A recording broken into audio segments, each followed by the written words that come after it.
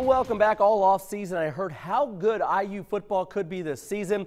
I know it was just one game and against an inferior opponent in Indiana State, but last night the Hoosiers certainly looked like a much improved team.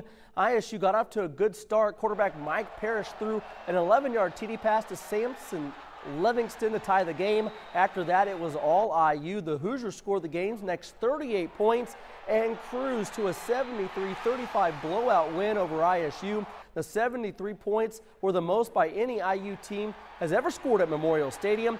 It was also the second most points the Hoosiers had ever scored in a game. The 73 points allowed were the most given up by an ISU team since 1920. As you can imagine, Sycamore's head coach Mike Sanford was not happy with this team's performance.